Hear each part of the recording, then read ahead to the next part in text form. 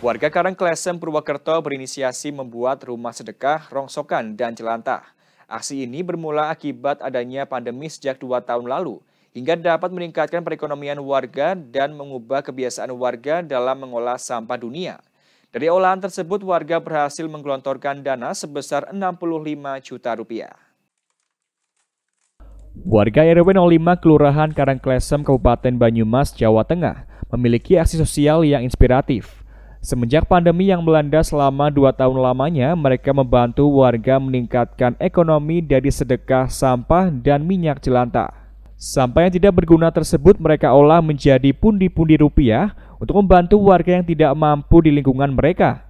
Ketua RW Sidik Fatoni menginisiasi program sedekah tersebut dari warga. Minyak jelantah dan rongsokan sumbangan warga yang terkumpul akan dijual ke pengepul dan hasilnya digunakan untuk memberikan bantuan kepada warga miskin yang membutuhkan bantuan. Aksi ini dapat menjaga ketahanan pangan dan perekonomian warga setempat. Baik sampah kardus, kaleng, dan plastik, mereka olah menjadi barang kreatif dan juga ditukar kepada pengepul hingga memiliki nilai jual. Akhirnya kita membuat cara bagaimana cara kita mendapatkan atau mengumpulkan dana, tapi tidak memberatkan kepada masyarakat maka kita menggunakan kata sedekah rongsok, sedekah jelantah, sedekah kotak, dan sedekah insidental. Itu yang kita pakai. Sembari kita menggunakan kata sedekah itu sendiri rongsok dan jelantah dan sebagainya, itu juga kita bermaksud adalah untuk mengurangi sampah plastik di wilayah RW 5 itu sendiri. Yang kedua, mengurangi limbah daripada minyak jelantah yang dibuang sembarangan. Nah, manfaat daripada sedekah itu untuk masyarakat yang kurang mampu dan untuk pemberdayaan. Selain untuk membantu warga, program ini juga dimaksudkan untuk mengubah kebiasaan warga sekitar yang kerap membuang minyak jelantah maupun sampah rongsokan.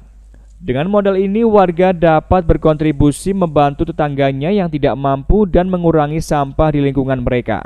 Seperti halnya sampah plastik bekas kopi ini, yang dimanfaatkan ibu-ibu PKK desa untuk membuat berbagai macam kerajinan kreatif.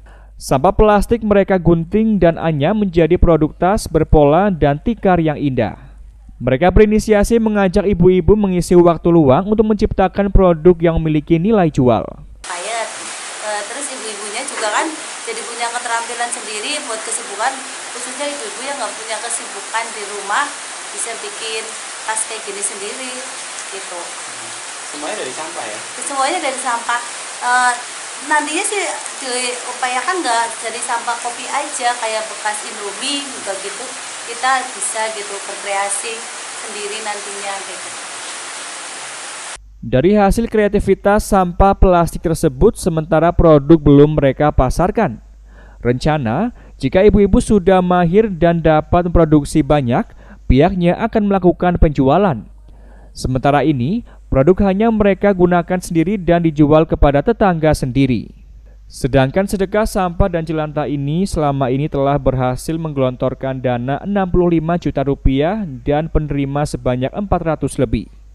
Dari ketekunan dan manfaatnya secara bertahap telah membantu kebiasaan warga untuk kreatif dan mengolah sampah hingga mengurangi sampah di dunia menjadi ekonomi kreatif.